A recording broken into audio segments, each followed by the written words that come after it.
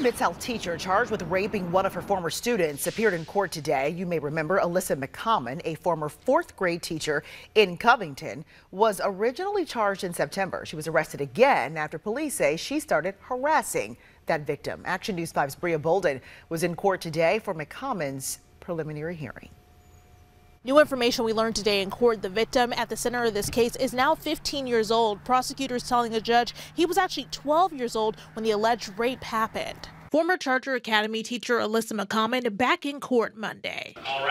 Three witnesses testified at her preliminary hearing. A Covington police detective, an asset protection representative from Walmart, and the child at the center of the case. Certainly, uh, we felt the evidence uh, went beyond what was necessary, which is just to prove that it's more likely than not, or that there's probable cause uh, that she did in fact commit these crimes. So that, that's what the judge found today.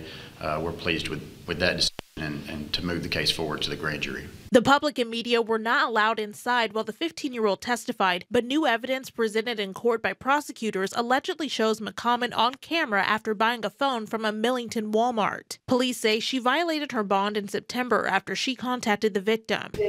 Um, in that photograph, does she look like someone that's in the courtroom today? Yes. And could you identify the person that's in the courtroom today? That's this lady over here. The defense and prosecution are at odds about how old the victim was at the time of the alleged incident, saying it happened at the beginning of the 2021 2022 school year. Prosecutors claim the victim was 12 years old at the time of the alleged rape. McCommon's defense attorney says otherwise. The alleged incident date is like within a week of the child's birthday.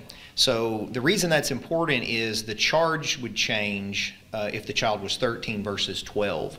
So obviously that's something that we're going to want to flesh out in the next court. Mason says his client remains in good spirits and her mental evaluation came back clear. A grand jury will decide whether or not to indict Alyssa McCommon on those charges. If they do decide to indict, this case will move to circuit court. Reporting in Tipton County, Bria Bolden, Action News 5.